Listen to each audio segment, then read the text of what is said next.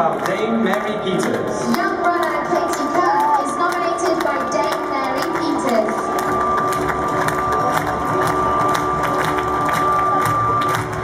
Le jeune penseur de